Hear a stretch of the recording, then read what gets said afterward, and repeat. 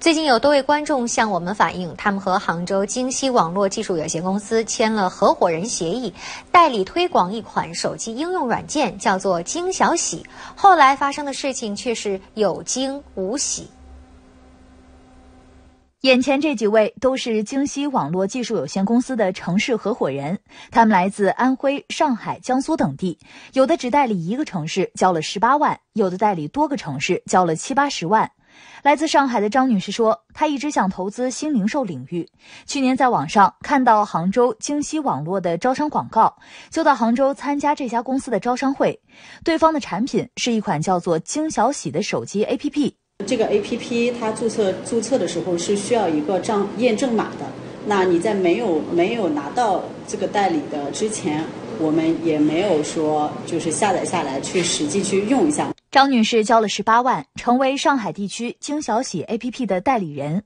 合同上的合作内容一项写的是，甲方将京小喜 APP 相应行政区域城市相关权益授权给乙方，乙方负责授权城市的业务拓展、招募相关门店及服务，并同时享有相关权益。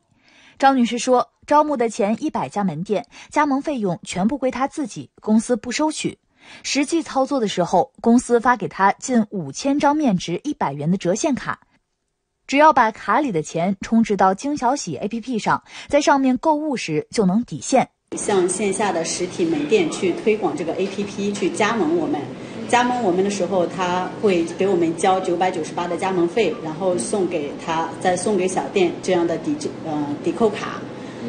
呃，拿这个抵扣卡之后，就是说，然后让小店再去通过他自己的客户再去开发 APP 的金粉，我们管它叫金粉，就 APP 使用者用户。小店加盟了你们之后有什么好处啊？小店加盟我们之后，就是宣传时候是这样：首先，他可以拿到一部分的返利，这是其一。第一个实际上的收入，就是他在网上购物能拿到一部分返利，同时也可以实现在上面去呃卖东西。也就是说，张女士招募一些实体店，让他们在京小喜 APP 上开店，同时把折现卡发给这些实体店，让他们把卡卖给顾客，告诉顾客用这个卡在京小喜上买东西能打折，借此吸引用户。张女士说，推广了二十多家店后，她逐渐发现这个 APP 有问题。第一是实体店在京小喜上面开的网店，可以说只是个摆设。这个是跟我们地区合作的加盟的店，然后这些店它只是在上面一个信息的展示，它也实现不了产商品的交易。另一个问题是，这个 A P P 虽然看上去和其他购物 A P P 差不多，但它本身不卖货。点开任何一个商品信息，都会跳转到淘宝的页面。而所谓的打折购买商品，张女士发现，并不是因为有折现卡，而是这些商品本来就有优惠券。我现在里边我充了一千块钱，里边还有九百七十五。嗯，我们先买个东西来试一下。嗯，比如说我搜索一个洗衣液吧。嗯，然后我点这个。嗯，买这个洗衣液，这里显示抵用价购买可以是二十四块九。嗯，啊，抵十五。那我现在先用原价购买一下。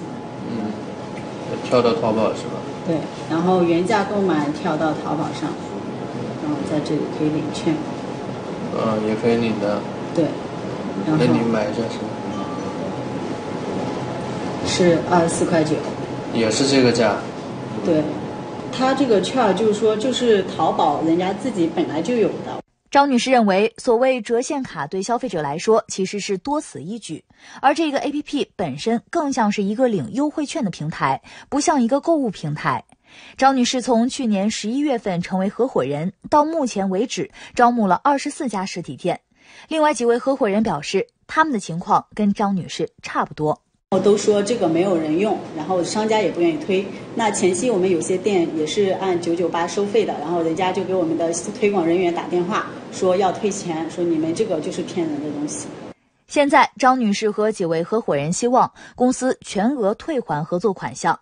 找到位于海威大厦的杭州京西网络技术有限公司，工作人员说要去通知公司的法人代表陈总，让记者和张女士等人在一间办公室等候。等了十多分钟，工作人员回来答复。刚刚的时候还思考了一下，我让你们把名片留下，我的联系你。名片留下在这里。对。嗯，为啥不能接受采访？